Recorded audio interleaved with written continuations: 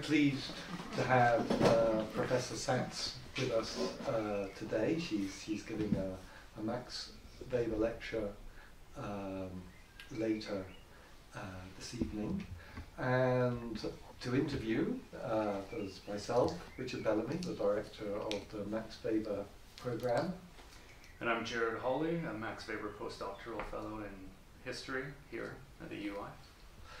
So uh, we're going to ask a, a, sort of questions more or less around your work on um, the morality of, of, of markets. Mm-hmm. And so my, my first question is a very general question, which is, well, that's why should economists care about moral philosophy? I mean, perhaps the only time I've heard my uh, economics colleagues mention morality has been when they talk about moral hazard.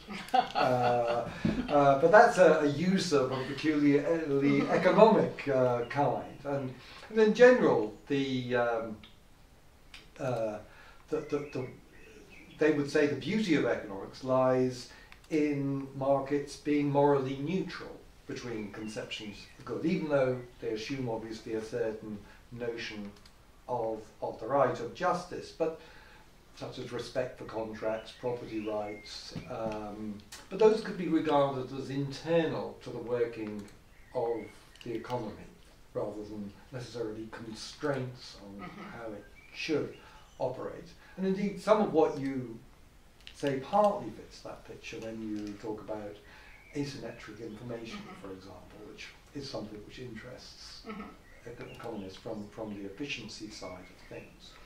But you've got more to say. Okay, and, and why yeah. should they care? Why? so first, I should say I have a pretty economics-friendly um, approach to um, markets, unlike some of the uh, critics or some of the people interested in the moral limits of markets. I take a lot from. First of all, I, I think there's a lot of good things about markets. Um, but I do think that there are, are moral constraints on markets. Some of the constraints arise internal uh, to uh, markets, like asymmetric information. You know, why care about asymmetric information, or why care about um, externalities? What is an externality? So, actually, economists can't avoid moral questions even if they want to because the very notion in economics of an externality really de- you know which externalities do we care about? Um, if i don't like purple and you buy a purple shirt that's an externality. You're, you're imposing a cost on me. I, actually like purple yeah. but you know you're imposing a cost on me. Um, you know, which externalities do we regulate? We have to have some conception of that. Economists really operate with something like Mill's harm principle without acknowledging that they do. But once you begin to reflect on externalities or weak information, you see there are already some normative um, pieces inside the economic framework. And then markets always rely on property rules, and property rules themselves are subject, you know, to ethical evaluation. So whether economists do it or not, there's room for philosophers to come in and ask, are these the kind of underlying property rules we think are justified, optimal for you know other values we have? So I don't think it's escapable. And then even if the economist wants to say, I'm just doing the technical work, um, if that technical work issues in policy, policymakers have to think about the different normative um, trade offs. And economists can help you identify some trade offs, but they may also miss some trade offs philosophers can help call attention to some of, or moral philosophers to what trade-offs they might be missing. And then somebody, you know, people need to some way of thinking, how do I use these models? And to that extent, you can't escape um, normative considerations. But I do think even in the most um, value free. So, you know, if you think of not welfare economics, but just positive economics, even in positive ex- economics, there are normative notions at work, like the notion of an externality, which has to have a normative component, or else you can't Mhm. wear your purple shirt. Yeah. Um, so, anyway, we need some moral guidance about um, uh, economic failures and economic limitations. Thanks. So I have a similarly Mhm. um, general question, but from a different perspective, and it concerns broadly the relationship between history and your normative critique of economics or normative Mhm. critique of contemporary egalitarianism. And so, in the morality of markets, your book, you frame the intervention as one of historical recovery, at least in part. Mhm. And so I'd like to ask you to say a bit more about that. So, one approach to the question of the role of history in normative political theory would be to say that the history of political thought is primarily, if not only, a skeptical tool for critique. So, this can helpfully elucidate conceptual impasses or normative shortcomings in contemporary theory. But another approach would be to mm-hmm. draw more positively Mhm. on the history of political thought and to look for more or less direct implications or applications to contemporary normative theory. And one of the reasons I liked your book so mm-hmm. much is that it seems that you're doing a bit of both of these mm-hmm. things. That you use the history of philosophy as both a critical tool and as a source of ideas to be recovered directly. So I wonder if that's sort of a fair characterization of how you use the history of thought, and if not, just to invite you to say something a bit more about that. Okay, so I'm not a method. uh, You know, I'm not. I'm. I should say I'm not that methodologically reflective. I, it's, you know, maybe No, that's a limitation of uh, the way I do philosophy. But it's you know I think you're given a good characterization, which is I am you know in in my book I'm looking at the history of economic thought partly as a way of thinking how do we get here? Mhm. and is there was economics ever uh, you know did was it ever a moral science? And if it was what changed and how did it change so that economists now think of themselves as doing technical work that really is not evaluative in any way and if you read the history of economic thought you see there was a pretty rich notion of what a market was and what its role was, and you know much more not a as a technical notion, but as a part of a theory of um, social equality in Adam Smith, um, actually in Ricardo and Marx. All of them are thinking about markets and their connection to issues about freedom and equality. So I think there's something to learn from this.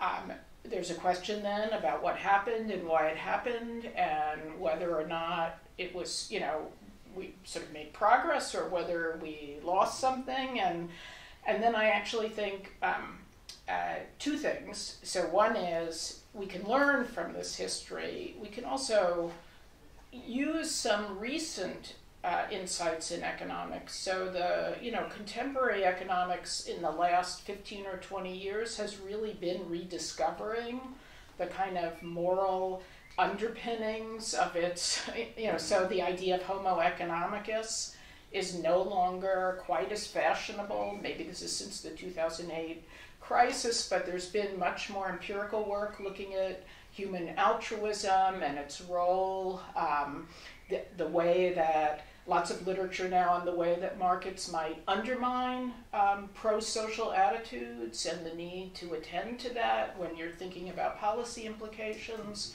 So it's both a recovery project but it's also um, kind of bringing it into discuss, you know, into conversation with contemporary thinking, which is beginning to broaden out, and there really, I think, there's room right now for, uh, I think, a major recovery within economics itself of this moral tradition. You know, partly coming out of this empirical work that people have been doing on human beings as a cooperative species crowd you know the way economics can you know markets can crowd out social altruism the importance of social altruism in human societies so i think there's and and just much more um, kind of uh, emphasis and recognition of market failure as a major piece of um, the you know the uh, economic framework and the reasons why most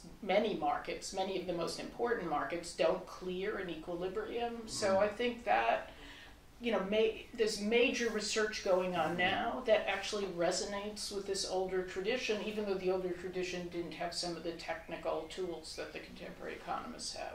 Okay, great. Thank So- you very much for that. Um, so I appreciate that you're not that methodologically reflective, and I don't want to push you to be too much more. Um, so maybe I can ask a more specific question. So if we're, if you're reminding us, and I think it's very helpful to be reminded that economics used to be part of the moral philosophy Mhm. tripos when it 1st Mhm. emerged. I guess I want to ask then also about the politics of economics as maybe distinct slightly from the moral limits of markets. And so if you're recovering a classical political economic mode of analysis, where does the politics go? Where do we get a politics from our reading of, of this history that you're somewhat recovering and reminding us of at least? And for me, that seems somewhat striking given your position as a critic of liberal egalitarian philosophy. So I wondered if you could relate this role of history in the recovery to your role as an internal critic of that literature, thinking of what you write in the moral of market, morality of markets on, say, Walzer um, Mhm. and these kind of people. So the reason I ask is that there's been a lot of work amongst historians of political thought to highlight the emphasis on economic limits of modern politics by turning to people like Adam Smith that you Mhm. also return to. But one way of leveraging those insights has been to be wholly critical of the approach of normative theorizing of a morals first or an ethics first, a variety largely associated with Rawls. So whether or not the label is helpful, a self-subscribed realist political philosopher might draw on Smith to look at the place of equality in modern capitalism from the perspective of moral psychology or agency rather than moral intuitions. Mm-hmm. And another might draw on Marx to look at the concept of liberty from the perspective of power and production rather than circulation. And so how I wonder how would you differentiate your approach from the kinds of external criticisms advanced by a realist political theorist looking at this history? Okay, so as I say, Yep. I'm not. You know, there are people who are really sophisticated methodologists, Mhm. and I'm more of a um, kind of practicing, um, you know, political philosopher that is interested in, you know, some substantive problem and approaches it and takes what tools seem to um, illuminate that project. That said, um, you know, I think it's very I, I think it's very important that political philosophy be sensitive and um, importantly sensitive to empirical um, constraints and uh, but philosophy isn't policy you know so I actually think there's sometimes um, a role for thinking through what the values are, what the trade offs are, in, in part independent, uh, you know, not letting your imagination be constrained by the realist approach. But in the you know in the end, if you're trying to guide policy, of course you have to think about constraints. I just think that some of the literature that is you know, if I'm thinking here of people like Raymond Geuss, that's more hostile to the, you know, Rawlsian theorizing, jump too fast to the, you know, so-called realism, and I think we have to be, you know, we don't know, you know, social science, and I say this is not a social scientist, but has done a really bad job at um, predicting, like, the economists didn't predict the 2008 crash. The political scientists didn't predict the collapse of the Soviet Union. People didn't uh, predict the current election, you know, the last election in the United States. We're not really good at understanding what the limits of the possible are, what the constraints are, what's going to happen. So I think there's a role for like having room for imagination Mhm. um, and uh, ho- you know playing around with the parameters because we don't know exactly what's fixed and what isn't. On the other hand, if you're writing to try to guide policy, you have to think practically about how are you going to get, you know, how are you going to get from here to there, right? And it's certainly true that you know, Rawls or most political uh, theorists don't have really good theories about transition. Or I mean, Rousseau No. has the you know the writer of the Constitution. You know, you Mhm. get the great the Constitution writer, or they don't have good theories, No. and we need to think about that. Mhm. But there's still a role. Again, I'm not a super like Yeah. um, theory, but I think there's a role for not fixing the limits of the possible Mhm. too quickly because we don't really know what they are. Um, and in some of the, so I write a, a, fair amount on education. I'm very interested in issues about equity in education. There are some real practical constraints, particularly in the United States, on um, uh, how you're going to move a system that is, you know, set off on one path. Uh, so we don't have a national education project. We have state by state projects. There's enormous inequality between states. In the United States, how do you address that? So you have to think about the practical constraints. On the other hand, you also have to think, you know, what are, you know, okay, what would be, what, to know what would be an improvement or to know what would be, uh, you, you know, you need some idea of where you're trying to go. Mhm. Yeah, and I, I don't want to be taken to be pushing you too hard to sort of bridge the theory practice divide, but I do actually think that the work you do in the moral limits of markets is sort of a really interesting way of engaging both those elements, uh, the empirical and the normative. Well, I'm in really trying to be, ways. I'm trying to be an empirically informed, you know, political philosopher. Mhm. That's how I think of myself is I'm empirically informed, but I want to say I'm not empirically limited. You know, so I'm, Mhm. I'm uh, you know, again, if I, if I were going to try to place myself, you know, I really, you know, when Jerry Cohen said that, you know, philosophy is, you know, that the kind of philosophical principles have no, you know, they're they're um, reality free. um, I that I don't accept that. Right. I'm, you know, I think we should be informed by empirical constraints and a theory that is good in the ideal but couldn't possibly ever be realized by human beings is not a good theory because for political philosophy has to be practical. So I don't take that approach, but I also worry that some of the realists are very quick to say, well, this is useless, you know, um, it's all power, um, you know, that's the only l- language that we can speak is the language of power. I think the language of reason has a role to play. Absolutely, thank you.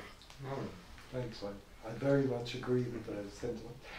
So, um, I this is a more specific uh, point about uh, the account you give in, in the uh, book. So, if um, I've understood it correct, you, you have these four features which Uh-huh. render markets uh, noxious, and um, they all relate in different ways to either how certain markets assume various forms of inequality or how the markets might create various forms of, of uh, inequality. And so I got sort of three points, um, not, which, all of which I'm sure are familiar to you, but I thought were worth raising nonetheless. So, so the first, which is in a way you dig, uh, tackle in in in uh, the book, but uh, because it's such a, a common way of seeing it, I thought I'd raise it. Which is,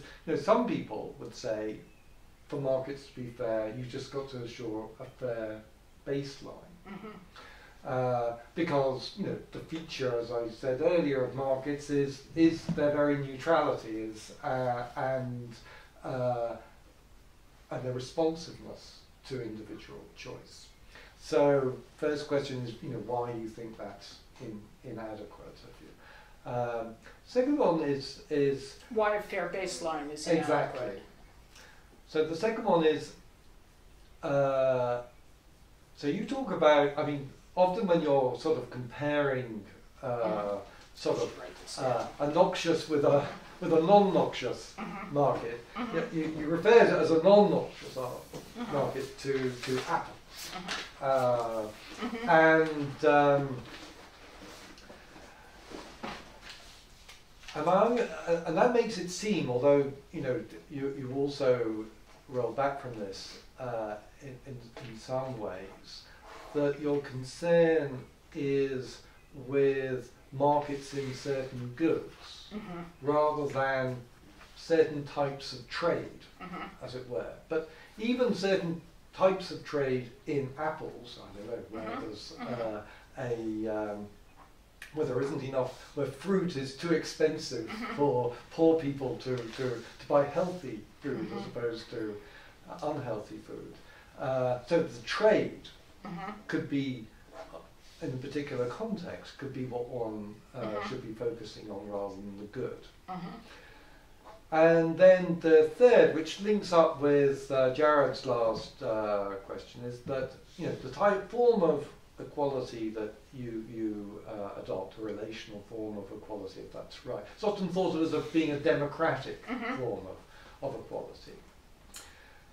And so, I mean, to one extent, isn't one correction to markets to democratize them in Mhm. various ways? In other words, that one ought perhaps to be more concerned with notions of uh, allowing labour to have greater power to organise through trade unions, possibly uh, having workers' co-ops so that they're working for themselves, uh, and that to what extent do you think that your argument points to a more radical critique of of markets and their association with the distribution of economic power, uh, which we associate with capitalist forms? Mhm.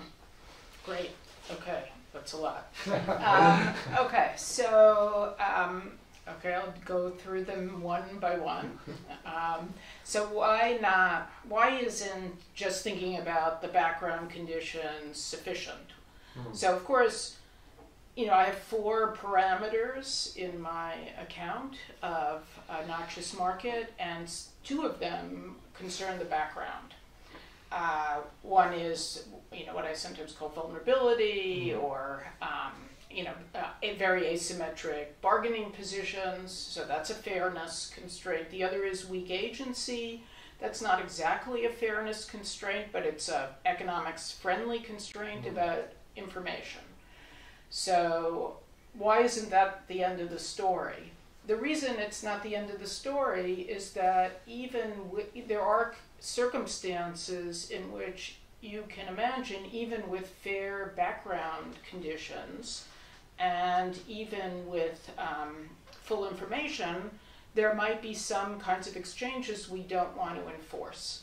So, and and because and I think important point about my view is that markets are the concern of everybody, not just the two transacting agents, because they rely on background property rules and a state that enforces them. So when you know, um, Robert Nozick in Anarchy, State, and Utopia says, in my utopia, you know, people would be able to sell themselves into slavery if that's what they want to do.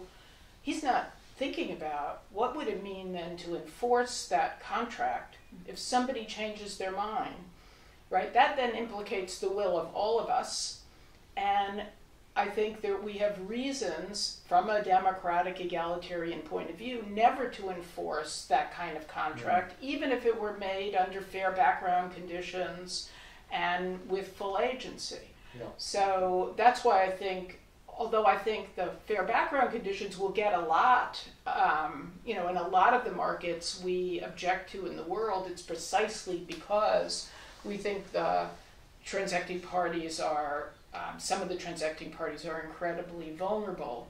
Even so, I think it's not the full story. That's why I have four parameters, not just two parameters, because I think some markets can have very bad outcomes either for people themselves or for the social fabric of a democratic mm. society. And that's why, again, I mean, to take another example that relates a bit to my lecture today, I mean, vote selling.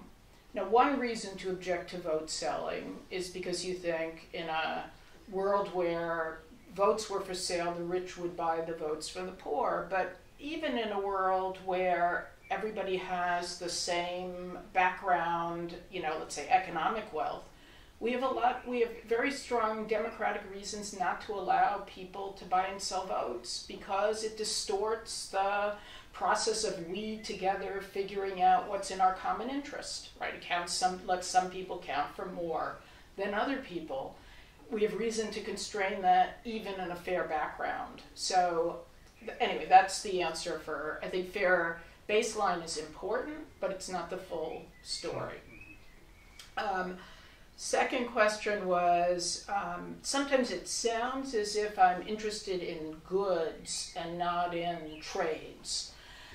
So I think that is, uh, you know, I may suggest that at times that would be a misreading of what I think because I don't think it's the, you know, I think some goods are more likely to um, uh, raise these kinds of concerns, but in my approach, unlike, let's say, that of um, Michael Sandel or Elizabeth Anderson and her earlier work, um, any good on my theory can become, uh, the trade in any good can become noxious. So I think I, you know, if apples suddenly became poisonous, um, if there was enormous scarcity and that was the only food supply, then a market in apples could become noxious. Mm. So I, I don't mean to be thinking about the intrinsic nature of the good. At the same time, there are some goods that I think raise issues, and this relates in part to your third question. So I think labor markets are particularly um, special because unlike the classical case, the canonical case of an apple market, the buying and selling of an apple, I mean, this isn't totally true because there are environmental issues, but, mm. you know, in general doesn't affect the apple. You know, you can sell it and the conditions under which you sell it doesn't really affect it. The conditions under which you sell human labor has feedback effects on workers and that makes labor a kind of special market that is going to tend to raise the kinds of concerns that I identify with noxiousness mm. that won't be true in general of an apple market. Even though in theory an apple market can become noxious, it's less likely to become noxious than a labor market because, for one thing, there's important feedback. And that's another th- reason to be concerned not just about the baseline, but that certain kinds of relationships that people enter into in the labor market can have a feedback effect on who they are, what their capacities are, what they're able to do, and that can have effects, first of all, on them for them, but also on the possibility of democracy. And among the reasons to object to child labor um, obviously, the kind of most important one is what happens to the children who are, um, uh, you know, the subjects of those markets. Which, you know, again, they're they're not themselves the agents, and you know, the major thing is that um, they're not educated for the most part in when they go when they enter into child labor markets. But there's also a democratic effect which is a second reason, you know, when which is that you're creating a kind of worker who's not going to be educated enough about the world and um, and the scope of possibility and alternatives mm. um, in order to engage as a democratic citizen. And we know there's a, some very nice work on bonded labor markets. Um, that shows that employers who bond their workers but also uh, may rely on, um, uh, you know, uh, um, nor, you know, free labor, isolate their bonded laborers because they don't want them to talk to workers who can enter in and out of contracts because they don't want them to have that kind of knowledge. So there are democratic reasons to care about labor markets in a way that there aren't about apple markets. And then you ask, your third question, well, doesn't this all point to the need to democratize the economy? and I'm absolutely yes. It wasn't really the project so much in this book. I'm writing a paper now that really is about um, kind of ethics and work and the workplace uh, with an economist. That is looking at arguments for democratizing workplaces.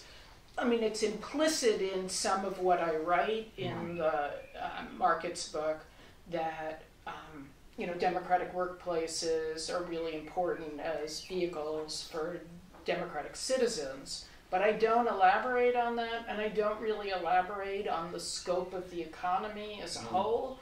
Um, in one way, uh, you know, if I were going to re- write the book now, I would write it differently than I wrote it in 2010. So when I wrote it in 2010, even though I didn't quite mean this, I, I partly because of the kind of work I had done, I focused on cases which I thought were very stark. But almost all the cases in the book involved the um, markets uh, that concern the body. So whether it's uh, prostitution or surrogacy or buying and selling human organs, they're and, and they're really about the body. And I actually think if I were doing it now, I would write more about healthcare and uh, labor markets, and I would. I mean, the approach, I would still take the same approach, but I would really frame it with different cases as the kind of core cases. And I understand why I wrote it that way, and I think I end I end the book by saying, you Mhm. know, this really should be applied to thinking about things like, um, mar- you know, futures markets and um, you know Sure. derivatives, and there's a lot of things I didn't uh, apply this to that uh, you know really should be the account should be extended. So. Can I just Yeah. follow up on that because it, it really fits into my my next and last question. so, um, because I mean, in, in some ways you differentiate your argument from Michael Walzer's in Spheres of Justice, but uh, if I recall correctly, uh, he says, you know.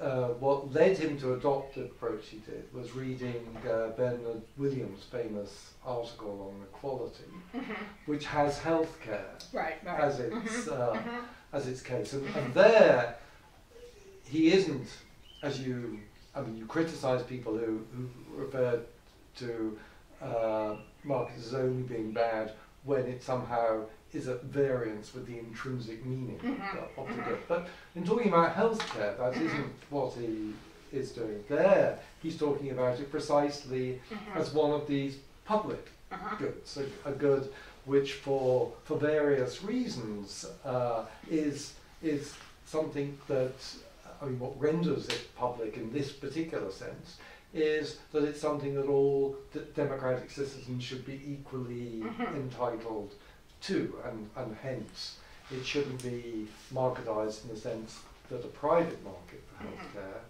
is one which uh, unless it's operating only at the margins, but when it dominates the scene, as is the case in the United States, for example, Mhm. it, it, it, it undermines access to it as a public good for, for, for all. So is that more where you're, is that where you're heading, is, is what I'm asking, and, and therefore, you know, maybe his approach is closer to yours than, than you give it credit for. So, um, I, you know, I think implicit in some of Walzer's account, you could draw out some of my parameters. But now here we'll go to the methodology issue. Mhm. You know, Walzer thinks that what he's doing is teasing out what he calls the social meaning. Mm.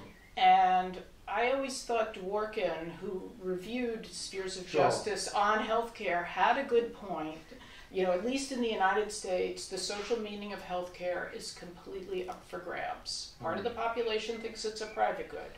Part of the population thinks it's a public good. So saying that the social meaning is that it's a Mm. public good doesn't help us resolve the issue.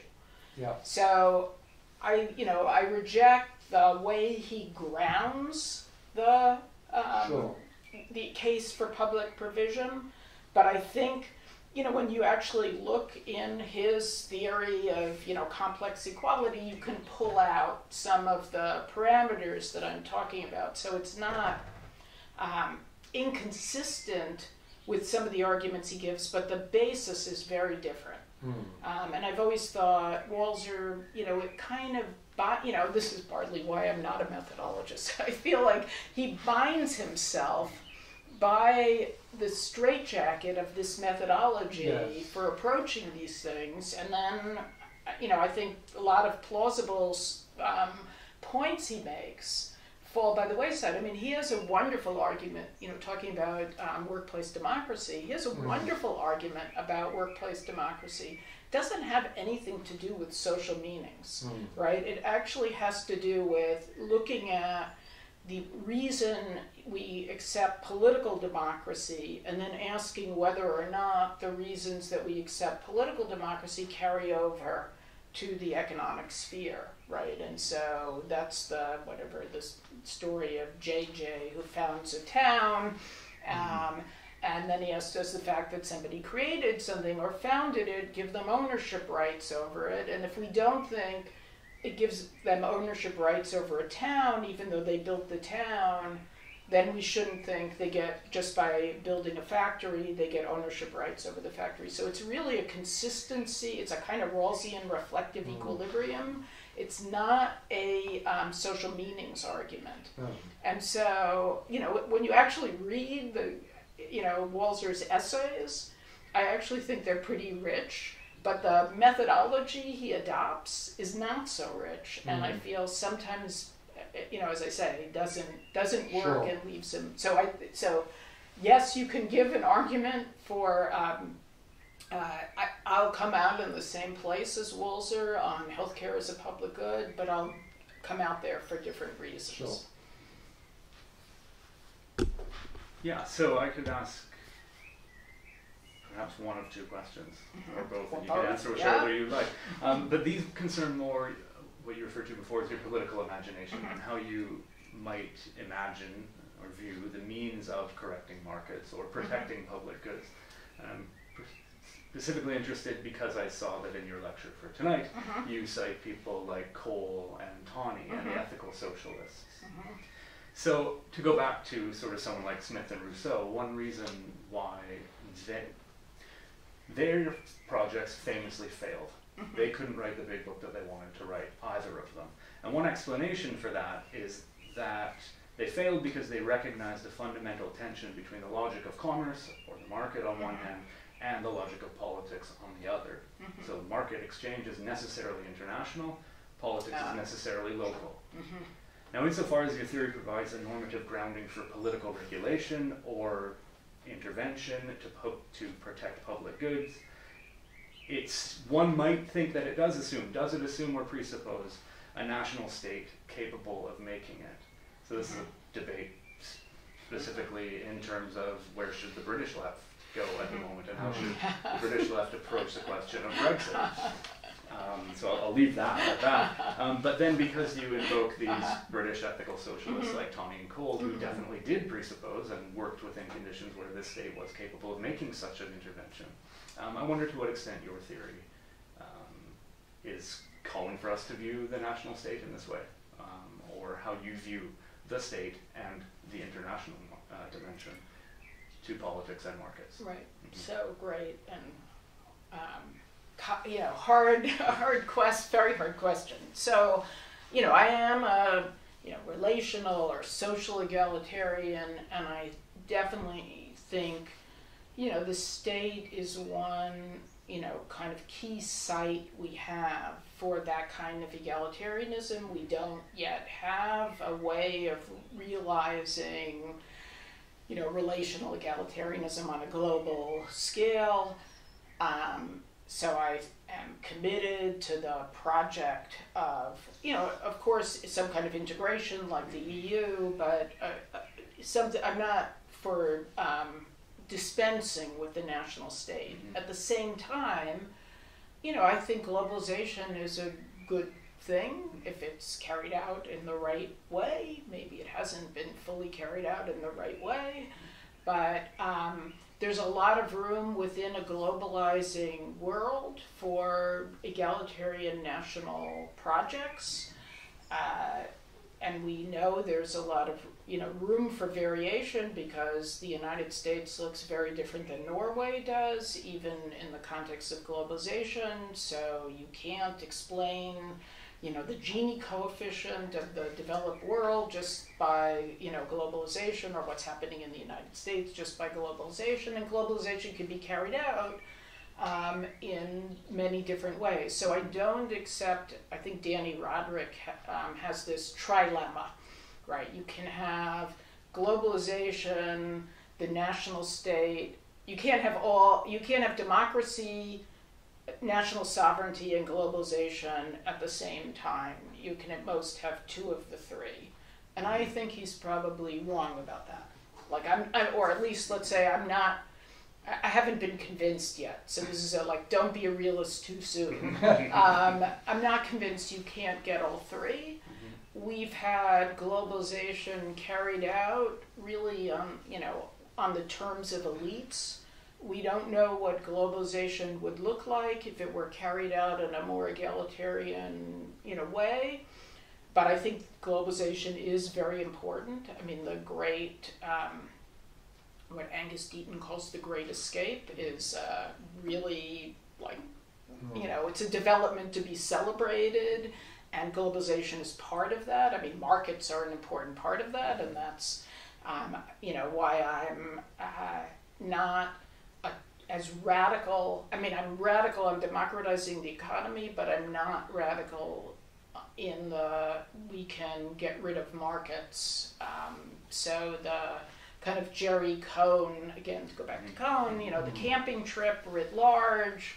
Um, I don't think that's a good model. So Jerry Cohen thinks that the, you know, economy, you want the kind of relations you have on a camping trip where everybody does like their altruistic bit of course, I always worry on the camping trip it'd be the women who would be like doing all the cooking and the cleaning, and the guys would be, you know, that's what altruism can lead to. And so I don't think that's a realistic way of organizing an economy, and I think markets are really key to that story of the Great Escape. They're not the full story of it. Um, but I'm not, I, I definitely think we need to, this is something we need to figure out because um, national, you know, hardcore national sovereignty that tries to, you know, Brexit out of uh, the globalizing world is not a good solution. Mm-hmm. It, um, it leaves too many people out of development. It's uh, too narrow. Um, on the other hand, globalization on the terms of the elites is also a problem. But I'm not convinced that Rodrik is right that we can have some, you know, democracy, national sovereignty, and globalization. And there is some empirical work that suggests this. Uh, Chuck Sabel is the person I know who's been doing work on kind of complex forms of regulation that allow for what he calls equalization um, and harmony among distinct standards. So uh, that's what Rodrik is really worried about is that you can't have complex standards like different languages or different norms, national norms, different ways of growing things, and and um, uh, Chuck Sabel tries to give us examples of new forms of regulation that allow for diversity, but where people certify equivalence. Mm-hmm. Anyway, that would be a way of out of the trilemma. So uh, that's not really a, full answer except to say I don't think I think the nation's, you know, I don't think we have another game in town to completely get beyond the nation mm-hmm. state. Maybe, you know, the EU is a nice model, but even the EU is not the whole world. Mm-hmm. Um, I read uh, Philippe's uh, um, Max Weber lecture, uh, uh, you know, on, you know, and I'm, I'm, um, you know, more with him on this than I am with Rawls on the EU. Uh, but I still think the nation state is, you know, an important site for egalitarian social policy. Mm-hmm, mm-hmm. Great. No, um, I don't think there is an answer that could be given at the moment. Um, so maybe I could just, I don't think I have what amounts to a question mm-hmm. about this issue, but because you did bring up Cohen's camping trip, mm-hmm. I wondered if you could say a bit more about the worry about the gendered division of labor as you brought up there. And maybe I can just, rather than asking mm-hmm. a question, to just tell you why I'm interested mm-hmm. in it. Mm-hmm. So one reason, so I'm interested, like you in recovering Smith and Marx and mm-hmm. this approach, I'm interested in recovering Rousseau. Mm-hmm. But one of the things that we can't recover from Rousseau is the fact that his egalitarian national project is grounded on a gender division of labor.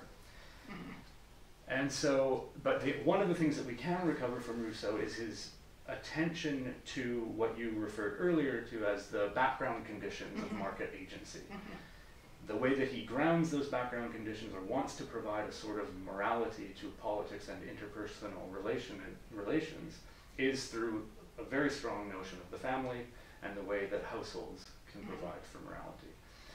So that's sort of where I'm coming from, and I'm just wondering if you could say a little bit more about that, the role of the family perhaps, democratizing the family, households, or thinking about the morality of markets not from above in the international, but from below in the family and the local.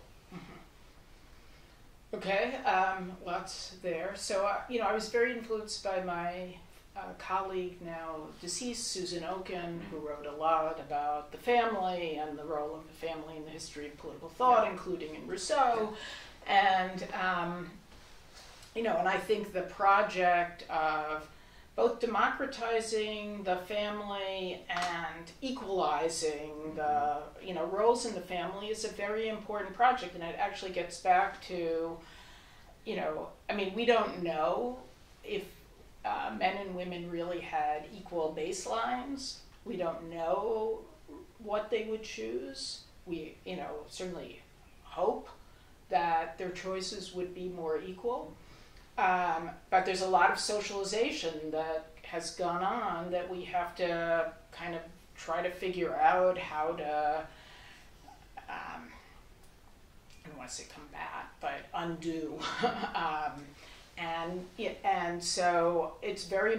I worry a lot. So there are a lot of accounts. I, I, know, I'm, I'm a big fan of pro-social attitudes and the role of pro-social attitudes, but I often worry about exploitation in the context of pro-social attitudes. So the way that people who are more altruistic than other people are vulnerable to exploitation, and I sometimes feel like the choice perspective can leave that out because it will say, well, if you benefit from giving to people, you know, then what's the problem if other people like benefit from your altruism?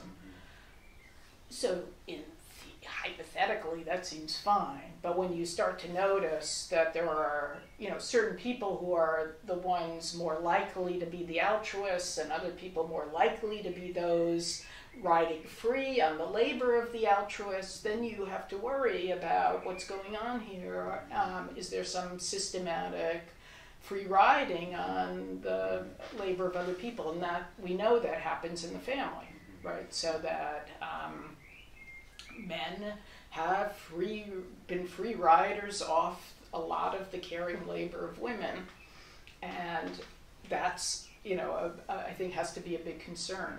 Um, there's another concern with markets and um, uh, and gender, which is you know.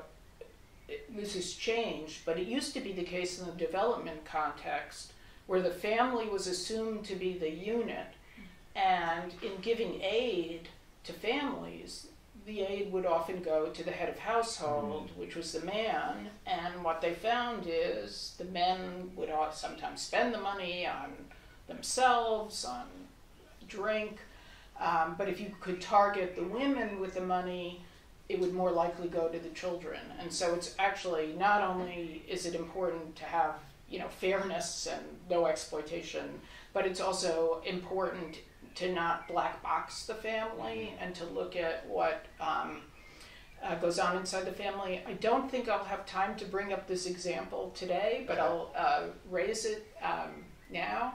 So, in thinking about in kind aid, I came across an interesting study by some economists at the London School of Economics that looked at um, donate, uh, giving, you could either give cash to women or bicycles and the women needed bicycles to get to work, so to have some kind of independence.